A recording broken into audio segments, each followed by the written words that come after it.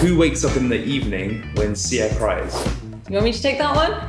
Yeah, go on. You were just sleeping. It was so easy to become a personal trainer. And your grandma could become a personal trainer if, if she wanted to.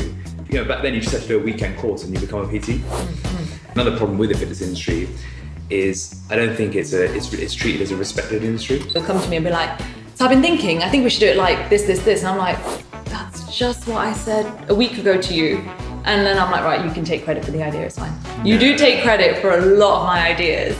In my head right now, it's just more and better. I'm not you know, I'm not sitting here thinking I want to quit my job. I want to Yeah. you know find a partner or whatever. There's other things that Say what? you do so much. Like you are an incredible dad. Like I did both feel very lucky and blessed me and Sia to have you because you do so much. There's never been a time where I thought, okay, you're not giving enough to us. Like that's always been ticked off.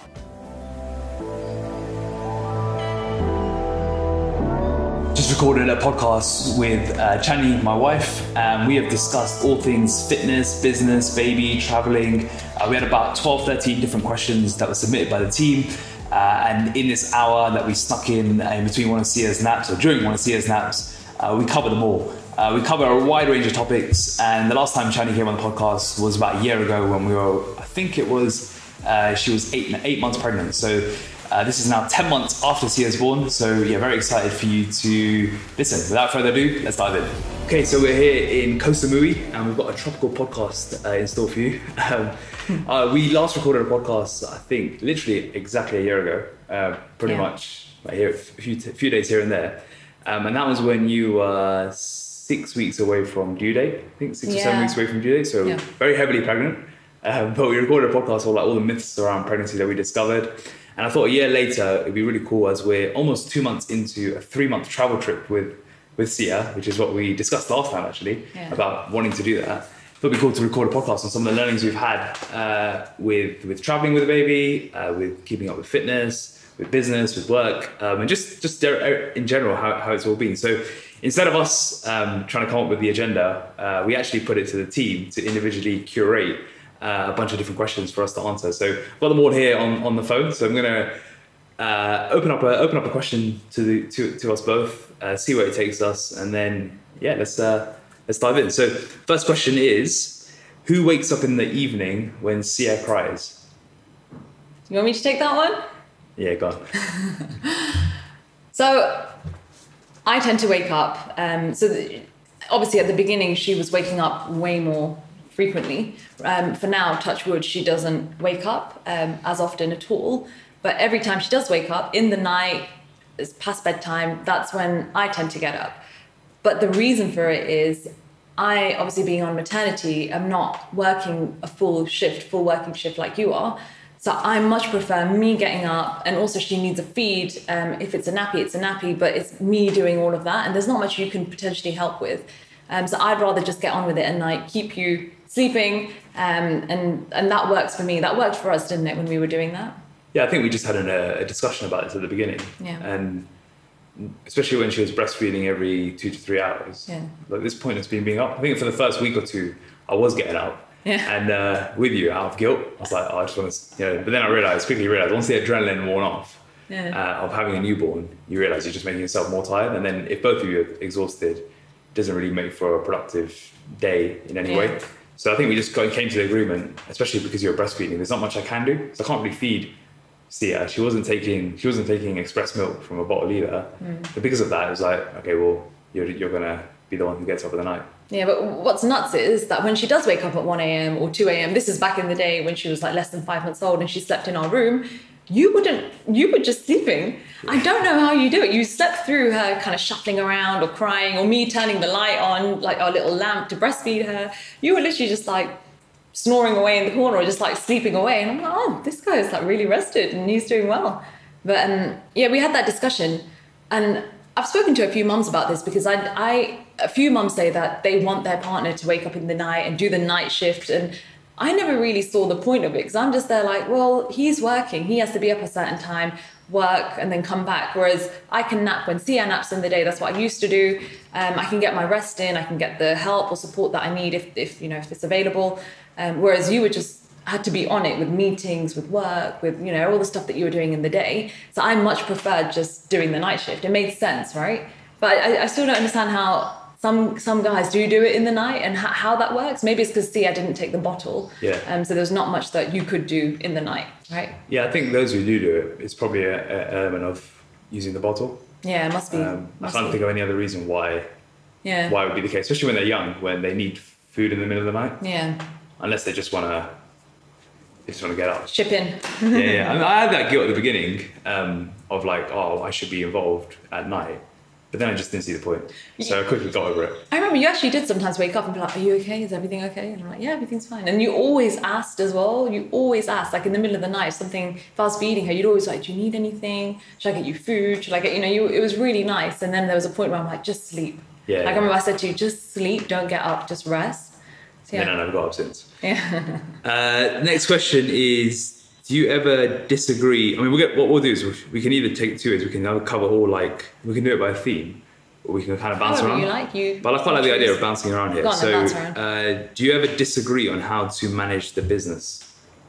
Yeah, so I'd start that off with me and you think very differently. And I think that's why we make a good team. And obviously, you started off the business, I joined the business, and we have very different skill sets. We've discussed this in kind of previous podcasts. And in terms of disagreement, I think it's more that there's certain things that you see that I don't see, and there's certain things that I see that you don't see. And when we talk about it, it's like, okay, this is the direction. So you're very much the big thinker. You think, right, in five years, ten years, this is what's going to happen. This is what we want to do. This is this is how you know all this kind of stuff. And I'm just there like, but how are we going to do that? We're going to need to do this. We're going to need to hire more people, or you know whatever the case is. And I'm there trying to figure out how to do it. And there's so many ideas that you have that sometimes I'm like, right, no, no, no, potentially, yeah, no. And then it's like, when does it happen? So it's, in terms of, I think it's um we disagree, but it's more how to get there, and maybe the time isn't right, as opposed to you know, but some of the ideas I must say they just don't work at all. Yeah, yeah. Some of the ideas are just too far fetched, and we're just like, right, we can't do that at all. But yeah, I just have to kind of reel you in a little bit. Yeah, I think um, yeah the way I the way I think is probably too much in the future sometimes, Yeah. and I think I, my patience for today is often very limited. So I want things done like yesterday. I think we should implement new ideas straight away, but I think I've learned over time to sort of sort of harness that skill set.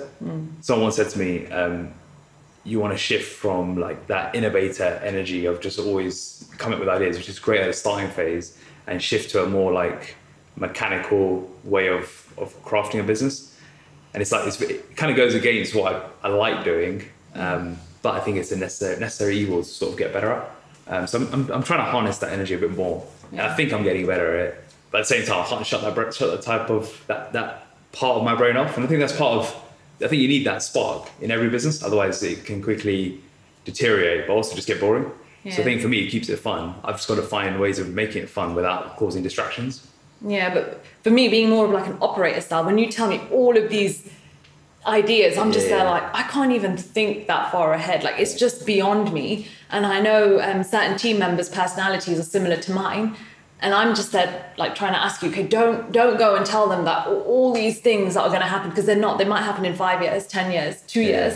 So it's just I'm trying to be like the barrier between okay, what do we want to what do we want to actually share and make happen now, then go and do it versus I'm thinking of all these things and then sharing it with everyone. So it's just kind of keeping it at bay and reeling it in. Well, I think it's good that most of the team are um, are probably more thinking the way you think. Yeah. I think it would be chaos if it was Everyone like you. Everyone was thinking like me. It wouldn't work at all. Yeah. Um, and, that- and that's probably that's probably not by accident either, because I think it works well having uh, opposite energies uh, in Yeah. the business. Yeah.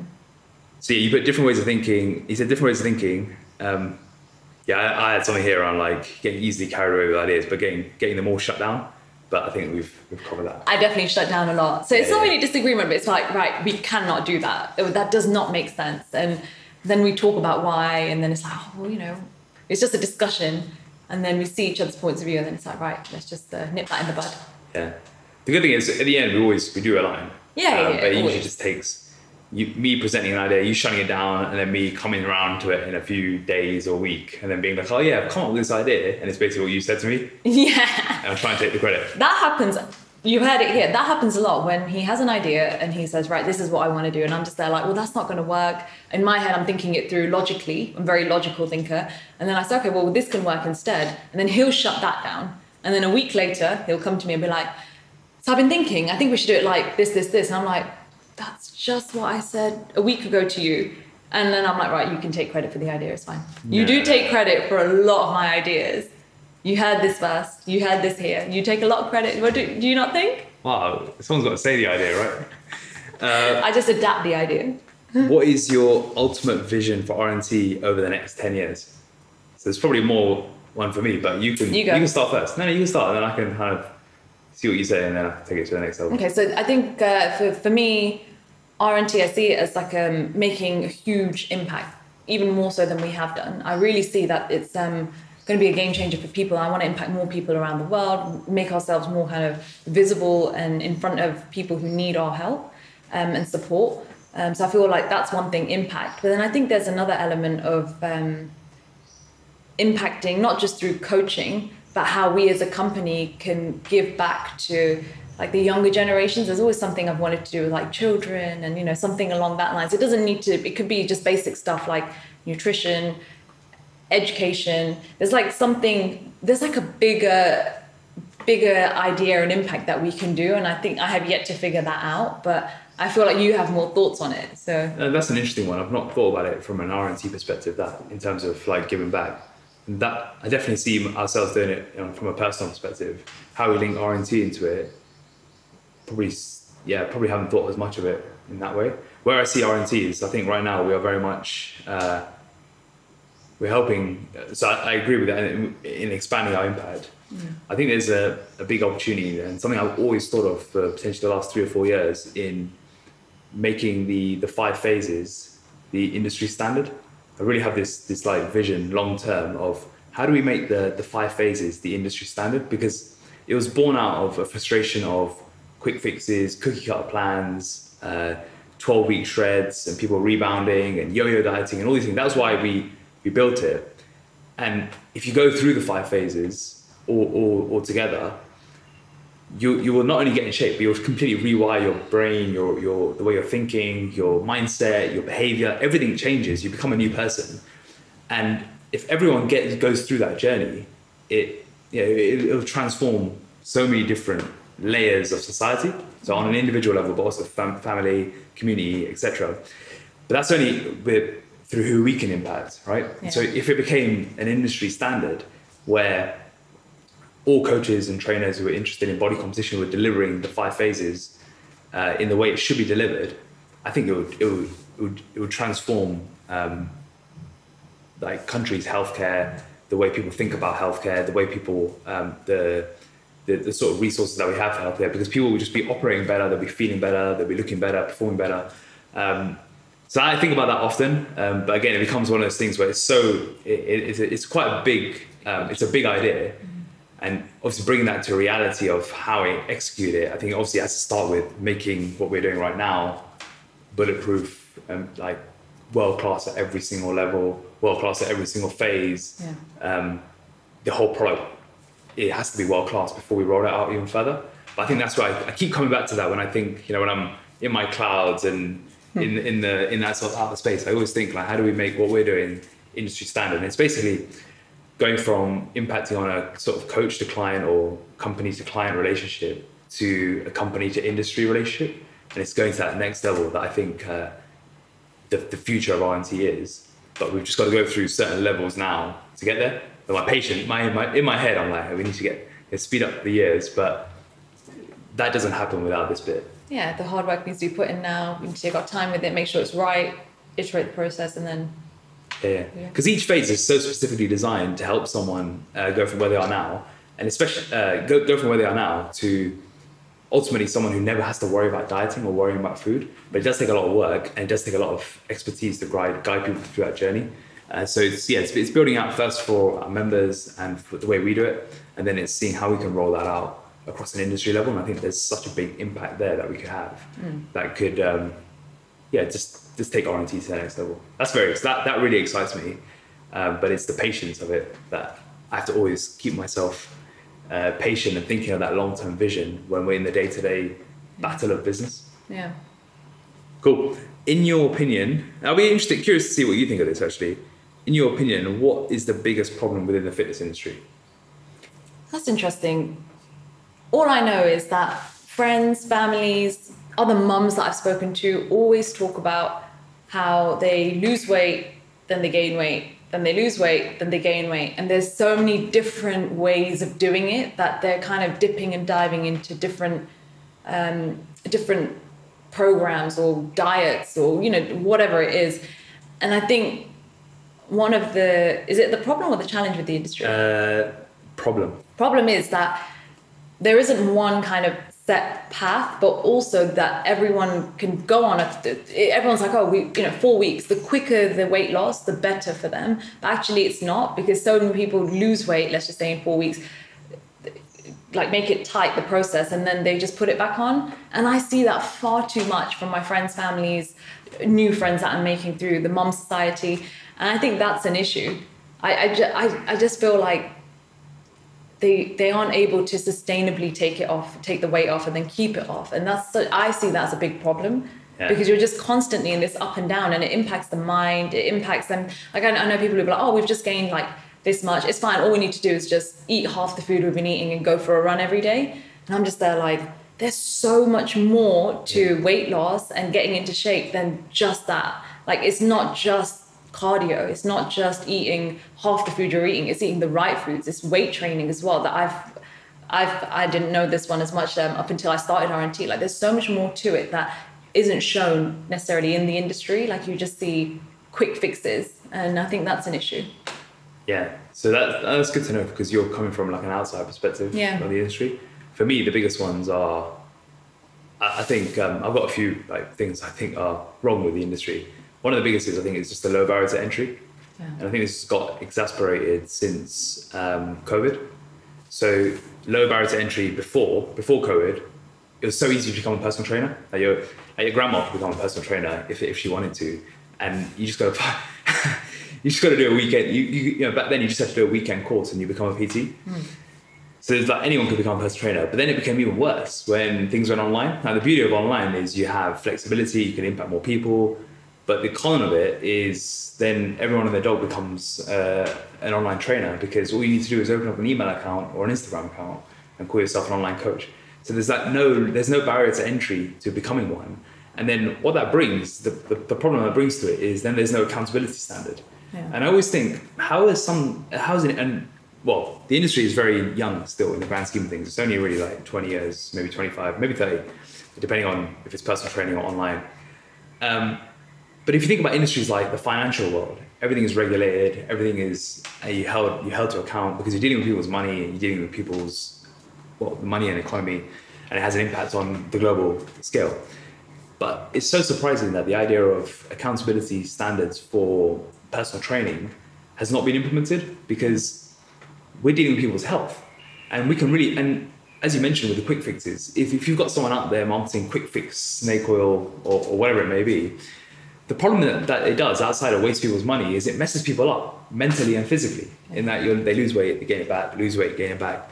And we're dealing with people's mental, physical, and emotional health. And on those three levels, it needs, there needs to be some sort of regulation or some sort of accountability. Otherwise, we just open ourselves up to effectively a cowboy industry and the Wild Wild West. And I, I always have this, like, when I think about what I shared earlier around like the long term vision, I do think in any uh, maturation cycle of a business, the, the cream always rises to the crop, and uh, there's a separation between those who are actually in it for helping people and those who are not. But at the same time, in this in this maturation cycle, I think we do need to see um, some sort of regulation or accountability brought into brought into it. So trainers are held accountable to their advice that they're giving, and also to the level that they're giving it at, and and that's something that I have some ideas of how it could be done, but it, it requires like it requires some some level of government intervention, um, and I think that's where it gets it gets tricky because of red tape and uh, just whether they actually care. Because I think another problem with the fitness industry is I don't think it's a it's, it's treated as a respected industry, and and this is probably one of the reasons why. I think when you when you say you're a personal trainer, I still think there's a perception around. Oh, you're just doing star jumps in the gym, or you're just counting reps in the gym. Yeah. And and what's interesting is recently I asked them a couple of groups, what do you think? What comes to your mind when you think of a personal trainer? And so many different responses came up. Like there was no consistency across the board because you've got you got the jack dude who's intimidating. one person said they're they're they're muscular and sexy and they're attractive, and I was like, that's interesting. One person says they, they can change your life, they can guide you towards doing that. Another person says, you know, they're overweight and they don't really care about what you're doing. So there's like there's so many different perceptions uh, because no one really knows what an actual trainer should be doing. Um, so I think uh, I think that's what I think is the biggest. That's what I think the biggest problem with the industry is is a low barrier to entry and then a lack of accountability to to the standards. And I think that's why the personal training industry um, is not respected in the way it should because what we do is life changing. What a personal trainer can do for someone is is, is life changing, uh, and that that's why it's not being um, respected. And I think one thing um, we're talking about the future that I love for the for for RNT, but also just as an industry, is that trainers are there is a career path generally for trainers. They're treated like uh, the respected professionals that they are, and they have somewhere to go once they're trained, once they're qualified, and they know what they know what they need to do in order to build their career. Because right now, the trainers are expected to be um, most trainers are expected to be business owners or they're expected to be entrepreneurs, and they're not.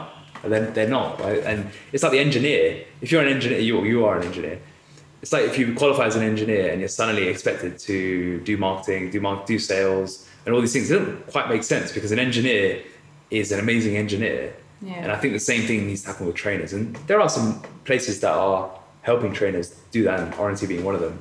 But for the most part, they're not, and they're just sort of put out there, and it, it's they expect to somehow make a make a living out of it. And that's why I think there's such a high turnover with the industry as well, where people come in, they do it for one or two years, three years, and then they're gone uh, because it's so hard. And, and there's a lack of stability, there's a lack of security, uh, and there's just a lack of a genuine career.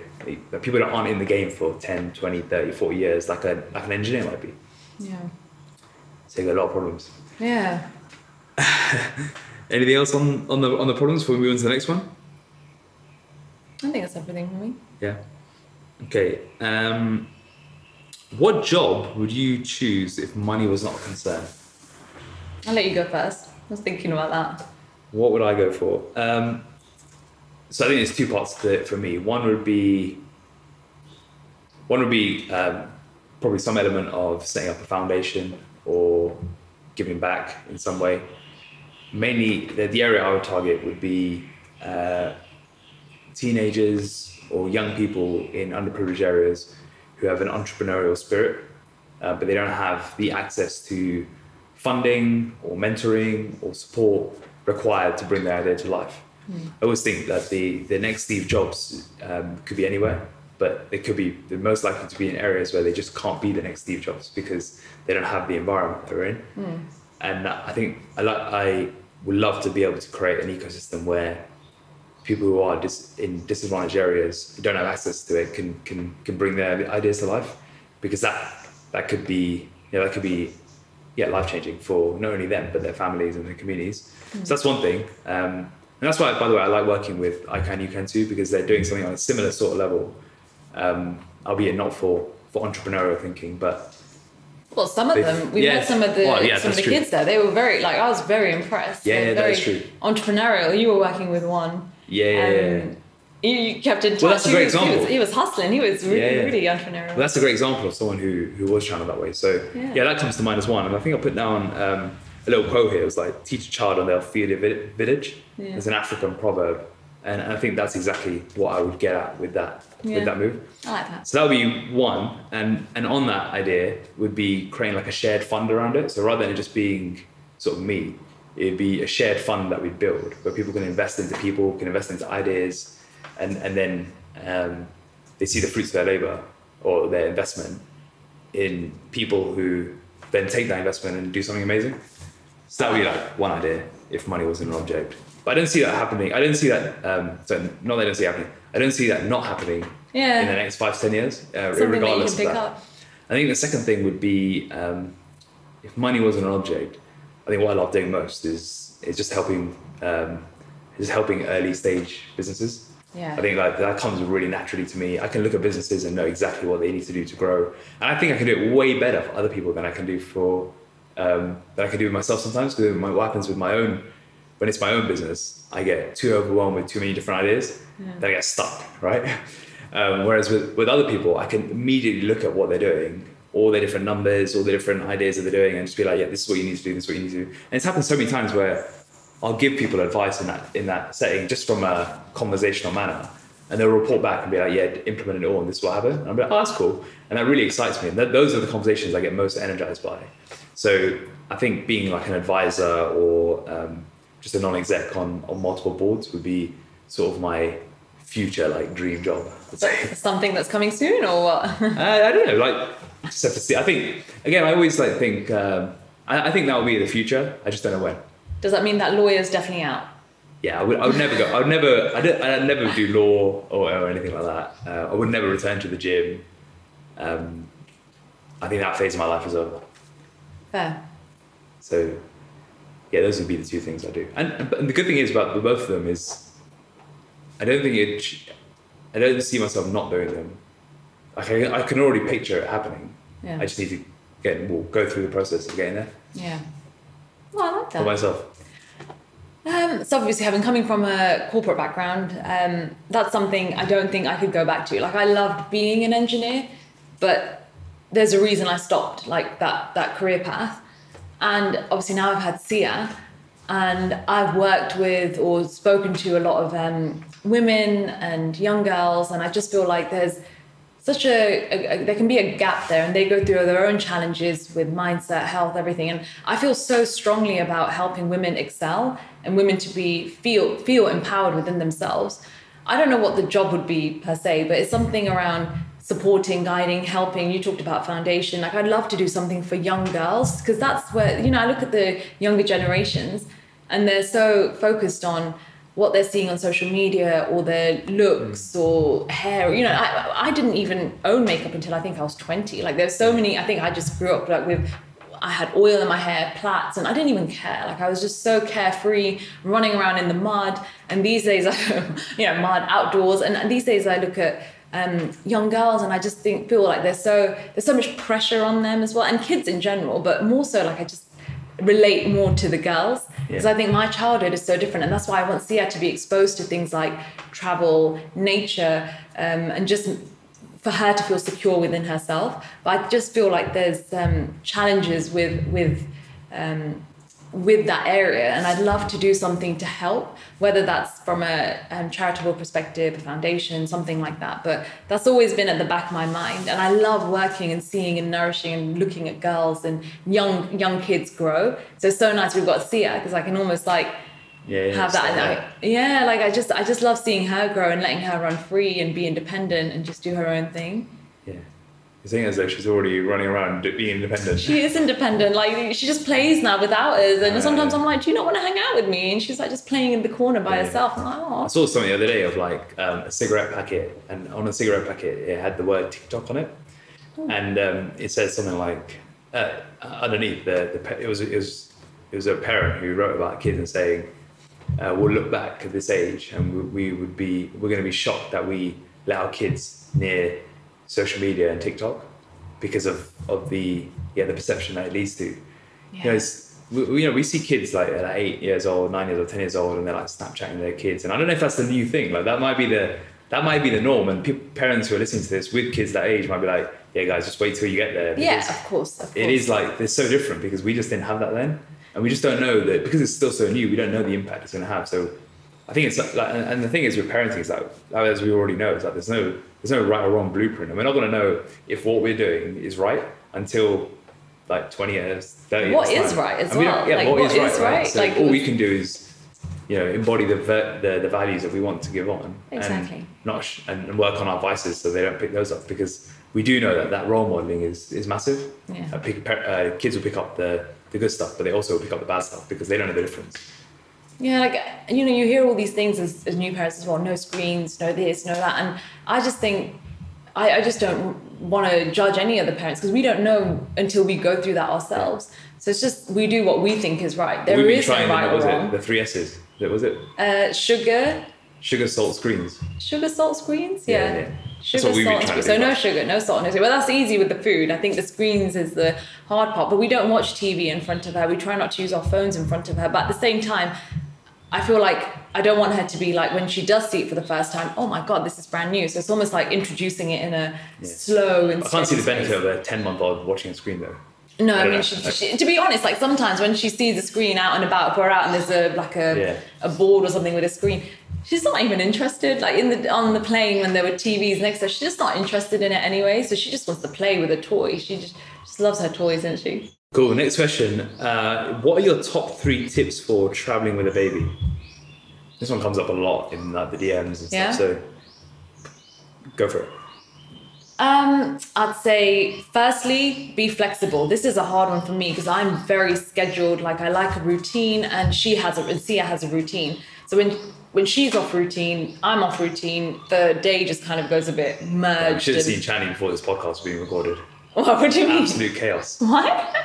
Stressed out about the nap, stressed out. Oh, because she's Sia's napping at the moment, and I'm just like, right, she's going to be up at this time. We need to be done by this time, because then we're leaving after this time. So, but yeah, I, I'm just very regimented in that respect. So for me to be flexible, it's it's very out of my comfort zone, let's say. So, um, but I'm learning to do that because when you're on a plane and the plane, how many planes have been delayed? I'm there trying to plan a flight time based on her nap. The next thing you know, the plane's delayed two hours, and I'm like, well, there goes that nap. Well, there goes the plane nap that we were going to have. So things can change so quickly, um, and yet she's way more flexible, flexible and adaptable than we are. Like she Yeah. just gets on with it, sleeps when she wants to, even if we're out and about. Um, so that's probably one. Be flexible and remain calm because anything can happen and things will change. I think the second one is uh, tips for traveling with a baby is prepare. Preparation is huge. So before we go anywhere, we look at okay, what are the roads like? What do we need to take?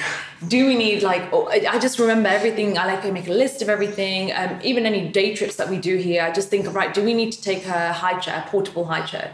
And preparation is so key. Um, there's certain things that we're not able to do because of the long days or the nature of the environments that we go to is just not suitable for her. Um, so we always put her first, right? We always put her first and say, right, we're not going to do that. If it means we, it means that we're going to have a good time, but she's not. It's not a good time because we're not going to have a good time. She's not happy. Um, so that's probably another one. Preparation is so so so key. Um, I'll think of a third one. Patience. Oh, massive patience. That's the big one. I think the big thing is that you got to realize you're not number one anymore. yeah. Like you're just you're just not the you're not the most important person in the room anymore. So I think that takes a big. That's probably the biggest thing I've learned as a new dad is your ego has to take a massive. You, you just destroyed your own ego because you're just not the most important. Probably not only for yourself, but also your wife doesn't think you're the most important either. so it's like, all of a sudden they're most focused on the baby. So you, you have to remember that you're not the most important person, um, and they are. So everything you do has to be around them. yeah. So it will. It does include a bit of sacrifice. Like you might not be able to go out to the late night bars if that. Not, not that you even do that, but it's just an example that we personally have preferred to keep Sia on a seven to seven sleep routine. But that means we can't go out in the evenings, uh, and that's just the. But what it does mean is we don't go out in the evenings, but what it does mean is touch wood, we don't wake up in the night. We Yeah, have a yeah. good night's sleep because she's rested. She sleeps in the night and we sleep in the night. Whereas if we're putting her to bed at 10 o'clock, she might wake up, her routine's gone, then the next day we suffer. So I'm quite. Or, or it might be that she sleeps ten till ten without waking up. Yeah. But then the the the there's just pros and cons, right? That means we've got to then be out with her or Yeah. up with her, and then by the time you get to sleep, it's like midnight. So we just chose that way. There's no right or wrong. We just No. chose that way, and um, yeah, it just means there's some things you can't do. Like for example, we, we I think we were joking that I think it was the first time I've been out because your because your parents Oh, are yeah. here. First time I've been out after six p.m. in about three months. Yeah. Um, 'cause when we went out for You're like, oh my God, it's evening, it's dark. yeah, yeah. So I think that's another one. Um, the, the key thing to remember is you're just not going to be number one anymore. So the way you travel is different, but it's just a different experience now. You've had your you had your, your solo days, single days of traveling. You had your partner days of traveling, and then you got your your family days of traveling. this is it's a whole new experience of travel like people who are expecting to have their ke- cake and eat it too so if you're going out with your kids and you're like right i want to stay out till midnight i want to go to the club i want to do this i want to do that something's going to give and then you just got to think right what do i want to prioritize and we've agreed as a family slash as us that we just want to make sure she's comfortable she's happy and we'll then base things around her. So there's certain things we haven't done, like certain when we were in Mexico, we didn't do Chichen Itza. We agreed, okay, it's going to take two and a half hours to get there in a car. She'll hate that journey. She'll hate the journey back. Everything. There's no shade. It's just not the best environment for her. So we decided not to do that um, as a two. I would have loved to have gone, but that's just for another day when she's older. And you've got to think it's all temporary. Like enjoy the time you have now. Like if Sia just wants to go and have fun on the beach, and we want to do something else, we'd rather do that, and we'll just do that with her. We just adapt to that. But patience is huge because she also um, changes her changes daily, right? Like nowadays she's eating for 45 minutes to an hour and we're just sat there like eating with her. And um, whereas before she was done in 10, 15 minutes. So it, it, things change. So you just Yeah. got to be really patient. Yeah, I mean, someone who uh, is very structured. I like to have been. Uh, I always prided myself on structure before Steve was born, but I think at least the last year, just it's just been out the window. Because in my head, I'm like, any structure I set will be done in the next two weeks. So I've just got to create. It's just like a really fluid routine. Yeah. And I think I've just changed the way I work and operate um, compared to how I used to be like plan everything to the half an hour, whereas now it's more just like I need to get these things done in the day, these things done in the week, and then just be flexible along the way. Yeah. Um, where do you see them, or where do they see themselves? This was uh, written in the third person. Where do you see yourselves personally in 10 to 20 years? Personally, in 10 to 20 years, um, I'd see myself um, with a slightly bigger family, potentially touch wood. Obviously, that, that happens. I'd love to have a, another another little one. Um, so with the ex- expanded family, hopefully a business that's um, impacting bigger than we are. So like work's covered, and I think it's just continuing with our as we are right now, traveling. I'd love to see more and more of the world and let our children explore more and more of the world and experience that. Because the more they're exposed to different environments, cultures, food, everything, I feel like it just helps them grow and develop and think differently. It's like a different mindset when you're out seeing things. And I've been traveling since I was 20, and I feel like that's what's helped me be open minded, understanding, and just learn. It's such a learning. And it also helps me, it's a self development tool as well for me. Um, so, yeah, something along the lines of that. Yeah, I think for me it's just more and better. Just Yeah. think. Uh, I've worked really hard in the last seven years or so to build a life that is in line with my values and aligned with the way I want to live, like a life by design. And well, it's probably been long, going on longer than seven years, but it's just it's just about continually optimizing that. So it's just about building my life around physical health, growth, and freedom. Those three things. Mm. If as long as I'm optimized around those three values, then everything will just come come with it. So more and better is what I think of. Is you know, it's being able to still train really, really hard in my 40s and 50s, which is where 10 to 20 years will be, which is quite weird Yeah. saying it. Uh, so still being able to train really hard, still being able to um, build and grow businesses. Maybe I'll be doing the things I mentioned earlier in the podcast. Um, and the third thing would just be like distilling those values across to to Sia and you know, like you said, hopefully another one as well.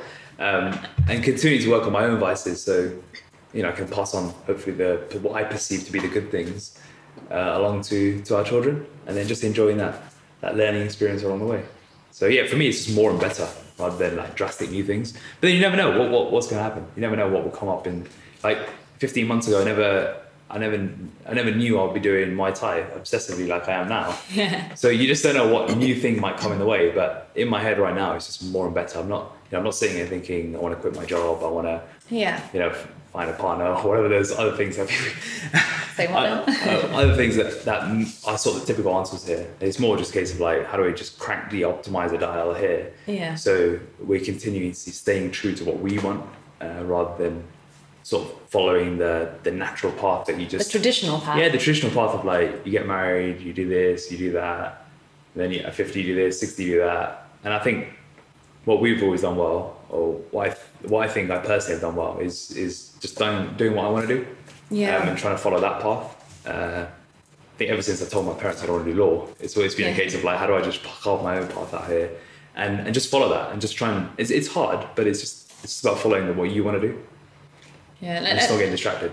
Yeah, but I feel like you- you're right in that. Like we're very aligned in the direction that we want to go in. But you're right. I don't have like in ten years' time I'm I'm going to do this or something like that. I feel like we're quite.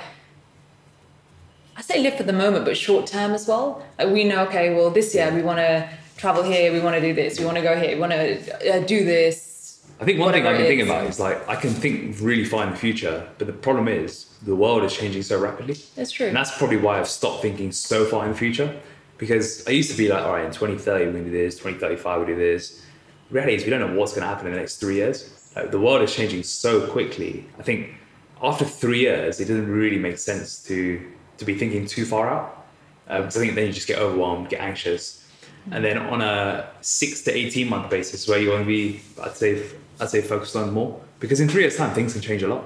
So Yeah. yeah, we just may, yeah. For example, like where do you want to live? It's like a big question that I'm thinking about a lot right now. Is We're because, thinking about that. know, where, where do we want to where do we want to live in the next 10 years we don't know that yet we don't know the answer to that and that's such a key part of of life it's like i always think the three big questions are like who do you want to be with what do you want to do and where do you want to live think i got that from reading naval's book so those are the three most important decisions you can make and the big one of like where do you want to live is like up for grabs at the moment a year ago i never even thought that it was out like i was so set on it being ealing in london west london Whereas now we spent the last out of the last by the end of by the start of April we would have spent four months out of five and a half outside of London. Yeah, it's true, isn't it? Yeah. Um, and it makes me think, you know, is it is it London anymore? And I don't know. I find it difficult to think in ten years that we will be we will be spending more than a few months in London because whether I just think as a system it's just yeah it's just not going it's not going in the right direction. But So that, yeah, I, I think it helps that you're very open-minded with these things, and so am I. So we're just we kind of encourage each other on. Like he'll he'll give an idea for the you know this idea of where do you want to live, and I'm all like, well, London, where else? yeah. And then you almost like be like, okay, well, let's think a bit differently. And then you open my mind to it. And when I have an idea, and you're just like, well, this, of course. And I'm like, oh, well, actually, have you thought about this, this, this? And that's when we kind of go explore, think about things, talk it through. And so I like that we're very, we can be very aligned on it and we're open minded. I think with the London thing, it was like for me, it was a case of we know the family, we want to grow the family. What we're staying in now isn't sustainable because it's too small. Yeah. So do we want the do we want the house with the mortgage? Or do we, you know, do we want to wait before we make that plunge? Because once you get the house with the mortgage, You're tied down you're pretty tied down for a while, aren't you? Then you've then you've sort of agreed where you're going to stay for a while. So I think that was what prompted this this discussion. Yeah. So I think that's it. That, that wraps up that question nicely. Uh, how are you managing your time, especially with training and meal prepping, whilst running a business and having a baby? I'll, I'll go for that because I, I, my, from my personal life, my training has taken a hit.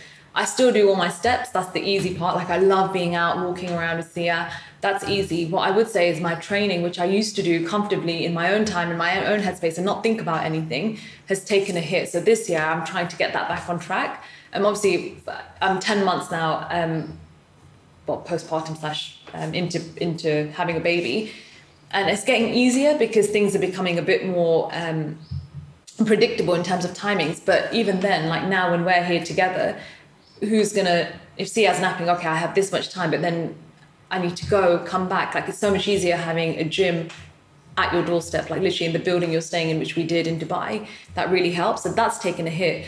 But everything else has been very manageable. But I would say that we've, outside of being away, we've had a lot of help at home. So we've got your parents who are super helpful. Like they literally just do everything to support us, support me as well um, with looking after Sia. That's helped me with meals, nutrition, everything. Um, and even in terms of business or work, obviously I'm on, I was on maternity. And that what that means for a lot of women is no work, Yeah. right? You don't work, you just look after your baby. But the nature of um, running a business with you is I might not be in a meeting, but I'm still we're still discussing business um, often, right? Often enough. I know exactly what's going on in the day to day. I check the Slack, company Slack, so I know exactly what's going on daily. Um, and where they're discussing ideas, strategy, mapping things out. So in terms of direction, and I'm helping like to be like, right, this is the direction. It might not be as hands-on as I was, but that's still at the back of my mind. I'm doing this podcast here now, and it just feels like um, that's something that I really enjoy doing as well as being a mum. It's just kind of fitting that in, which I feel like we do well, whether it's evenings, naps, etc. But as I said, I think the key thing that's taken a hit is my training. It's not been as good. How about you? Because you juggle a lot. Uh, I think I think I'm still um, I think I'm still managing all three really well. The Yeah. training, being a dad, and, and running a business. But I think it's just a constant pull of priorities. Like I always think I'm always feeling like I'm not giving enough to either of them. That's what I'm always thinking like, oh, I could be training more because I used to train like this. Or I could be working more because I used to work like this. Or I could be seeing more because I've been doing too much work or been doing too much training. So there's just always like battle in my head of like, am I doing enough in each area? So that's why I think about often. but then I just have to make sure I set. I just need to know what needs my time the most at the moment. So I'd say training. I've just the last six months. I've probably just put on maintenance. And what that means is doing a minimum of three to four sessions a week. Whereas it used to be like six sessions, six sessions a week, seven sessions a week, because I just used to love it. Whereas now, as much as I still love it, it's just something needs to give. So for me, it was all right. I can't train as much as I used to because I want to. One of my goals this year is to not have a goal. Yeah. because of not having a goal, which is harder than I thought. You know, every now and then I'd be like, oh, you think I should do a fight again? Or you Yeah. think I should do a marathon again? Um, because I don't have a goal, there's no reason for me to be training that much.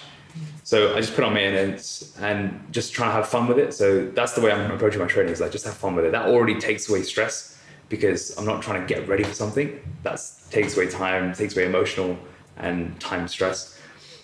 And then with business, it's like I've just got to do what needs to be done there. Um, and the nature is, I work very differently now than I used to. I used to like waking up, going straight into work, working all through the morning, um, and then I'd catch up with you at lunch and then at dinner. Whereas now it's it's very different because depending on what time I wake up, I might do a little bit in the morning, but most of the time I'm with you and Sia till about nine. Then I'll work, then I'll be back for lunch, but then I'm also trying to make bath time. So I've just I've reduced my working hours, I'd say, um, but not at the expense of anything. So Yeah. I've just had to be more effective. So yeah, I'd say it's just a constant pull of priorities. You never feel like there's nothing to be doing, nothing to be doing. Yeah. Is that a fair answer? Yeah, I mean, I think you balance it really well. Like you always check in with me sometimes and say, "Have I done? Have I given enough here?" Or is there more I can do here? And I'm thinking, no, you do so much. Like you Yeah. are an incredible dad. Like I did, I feel really. We feel, both feel very lucky and blessed, me and Sia, to have you because you do so much. Like you make the food, you clean up, you do, you look after her when I need time. You take her for an hour. You you're always offering. Okay, well, why don't you go train and I look her out for after her for an hour or whatever the time is. And it's so nice that you do that. So I feel very appreciative of everything that you do. There's never been a time where I thought, okay, you're not giving enough to us. Like that's always been ticked off. Um, not that I have much expectation as well, because I think a lot of dads tend to be out of the house between eight till six or whatever that time is. Whereas it's just very, we're very lucky that you're around. Um, but when you're working, you're working. So when you're working, I obviously sometimes still disturb you here and there, and I'm learning to kind of reel that in because you're just like out there somewhere or you know wherever you are. But when you're working, you're working, and that's it. But when you're with us, you're with us, and you're 100% with us, and I really like that. So you balance. I think you balance it. That's really, really well. hard though. That that is like whilst I you might think I'm right there, but it's still really hard to compartmentalize. Like, that's a real tough thing to do is to actually compartmentalize. And the only way you can really do it, I found, is if you do pour everything into the into your work, and then you come and um, come and be with the family. But if you don't pour everything in, and you've just left it at seventy percent, then you're still thinking about it when you're with your family, and then you're always like you're never working, you're never resting, you're never you are you are working, you're like, you're just in between all the time. So that's something that I'm constantly trying to work on because the rules, the changing of schedules and what we're doing with travel, etc. So yeah, I think a juggle of priorities, we're just making sure that you're pouring into each one so you can't compartmentalize. Uh, traveling for longer than a holiday, do's and don'ts to keep your goals, keep your goals, no, sorry, keep achieving your goals in work, fitness, and life. So go with do's. Have a routine. Yep, we're quick fire on this one. All right, have a routine so you know what you're doing when. Plan in advance. So you plan your day or week in advance. So you know this day I'm going to do Yeah. three Muay Thai sessions or whatever it is. Um, get all your food so you don't have to worry about, right, what am I going to eat when? Just do a big batch of, we do shopping here, so we cook, um, so we know exactly what we're going to eat. Um, what else? For me, uh, find somewhere that has a gym nearby that will keep your fitness going. Like, Yeah. That's a no-brainer. Like, if you can have a gym 10, walk, 10 minute walking distance, you will train more uh, as opposed to having a 30 minute drive. So that's a big one. And I'd say the other one is for dues is no, if you're, if you're working, if you're there longer than holiday, you are, you're still working. So the thing that you need to do is remember that there's a price of admission when you're traveling. So if you're Yeah. on operating on different time zones, like we're now seven hours ahead, you're you can't escape late night meetings. Like it's impossible to do that. So you have to accept that you will no longer have meetings. So no longer have evenings where you're just chilling out. You'll be spending most of them on a laptop, on a on a Zoom call, Working, as an example. Uh, and same on vice versa. If you're six uh, six to eight hours behind, uh, we were in Mexico, six hours behind. That meant six a.m. meetings, Yeah. uh, seven a.m. meetings. So there's a price of admission you have to take. Um, but you know, you just flex your days accordingly and you move you move your schedule around. But just remember that if you are going away longer than a holiday, you can't have your cake and eat it and work eight till four whilst being seven hours ahead and just saying to everyone, oh, I'm, I'm off for the next four months. That doesn't work. You have to just go with it and, and know that you, you might it might not be your idea. You might like going to bed at 8 p.m., but you're probably not. So I'd say that's a big one.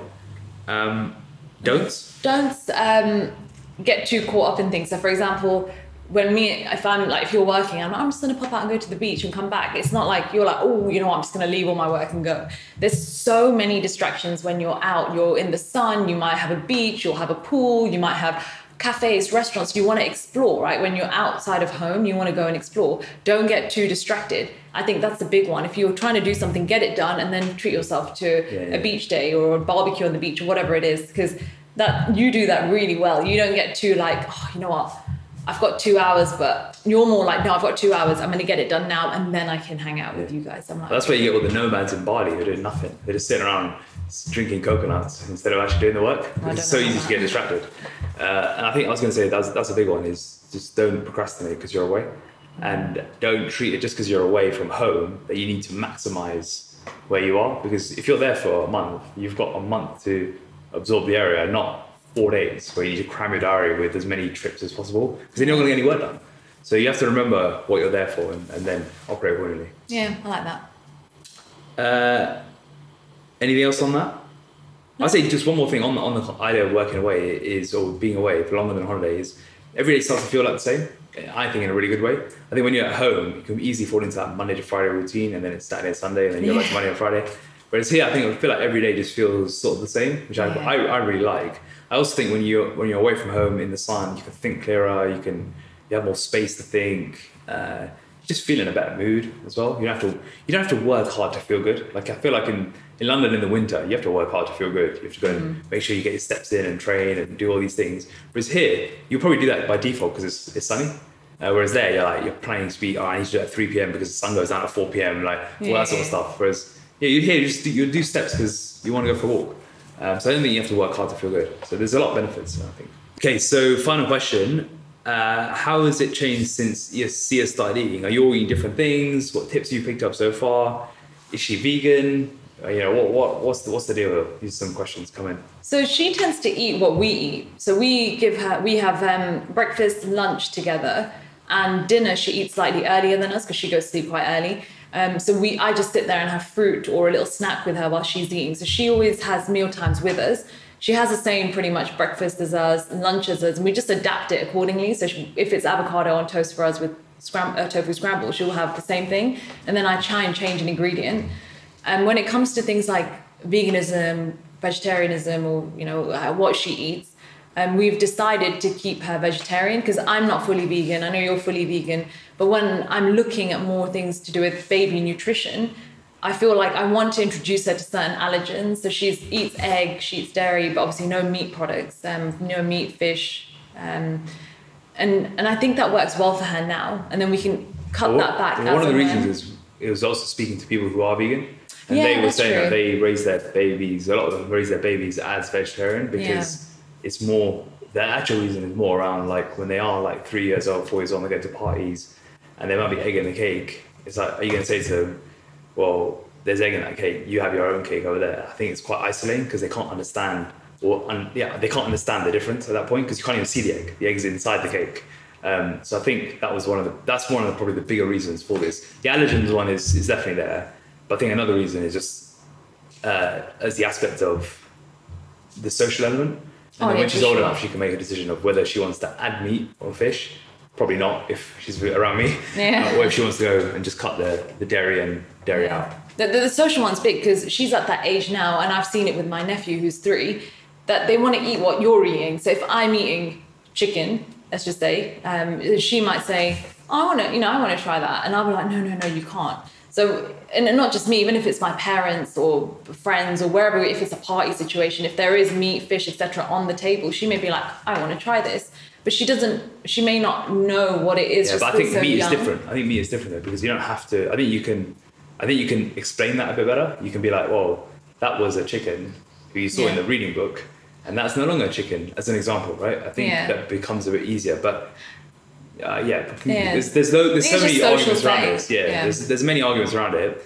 As you can probably tell, like we're still we have slightly opposing views on this as well. I don't know about opposing. I think I, I, I will we'll see how it goes. Is for now, Yeah. like it's good. She just eats what's on her plate. She doesn't want but to. when I say that, I'm more hardcore. Oh, yeah, you. like. I'm more Yeah, like fine. right. I want it to go down this way. Yeah, yeah, Whereas you're more like you're thinking more practically around it of like Yeah. what's the reality going to be, and the reality is probably more what you're saying as opposed to what I'm saying. Yeah. And my my reality is like yeah, she should go vegan. She should be this, but I know it's not practical Yeah. in many aspects. Well, we've spoken to parents, other parents, as you said. So that's that's helped us with how we kind of shaped what we didn't do. So yeah. Okay, uh, I think that's pretty much all the questions. So we've got a couple of rapid fire questions here. Okay. Uh, TV or book? Book. It, it depends on the mood, but book. Yeah, I'd say the same. Yeah. Uh, although we, yeah, although I haven't actually read a book in a while, but we've got Kindles now. Got So we've got Kindles now, so excited to. I've got Elon Musk downloaded, and, And I've you've got got, The Maid. but says it all, doesn't it? I want to read about uh, hardcore business. I just love And fictional were books. fiction. I just get really into it. I get lost, lost in my own head. Uh, summer or winter? Summer. Yeah, I agree. I love the sun. uh, morning or evening? I like morning. Yeah, I'm definitely a morning person. Yeah. For me, morning is. If we get a walk in there, that's it's the best time. morning walk on our the Oh, morning beach. walks here are amazing. Who needs more sleep? You. Yeah. I'm surprised as to how much sleep you need. You need like 15 hours or something ridiculous. no, no. I need, How I need eight to nine hours. How much? Eight to nine hours. Okay. There's been times when you sleep 10 to 11. Yeah. I mean, I, I, I, I took away an alarm about three years ago. I tried to bring it in a few times because I think I can't be sleeping this much. Yeah. But every time I do it, I just stop it because two days in, I'll be feeling ill. So, and I get like, uh, it's obviously a privilege to be able to not have an alarm Yeah. because I don't need to wake up at a specific time. So, for me, it's just a case of if I don't need it, let me just roll with it. Especially now, I'll see her sleeping through the night. There's no reason for me to, to wake up. So, it's not to say I'm sleeping in until nine o'clock. No. I'm usually up between six and seven. Yeah. Um, but I don't know when in that hour window I'll get up. So sometimes it'll be six fifteen, sometimes it'll be seven, sometimes it'll be seven fifteen. Who always finishes their plate? You. And I finish yours as well. You do. If I have leftovers. And uh, who's Sia's favorite? I think she loves you, but I've got the goods. I've got the food. So she knows, like, you know what it is? She comes to me for food and then she comes to you for playtime. Yeah, is it food and fun? I'm fun. Yeah. you probably are. okay, brilliant. I think that's everything. Uh, yeah, that's all the questions done. Okay. Smashed it.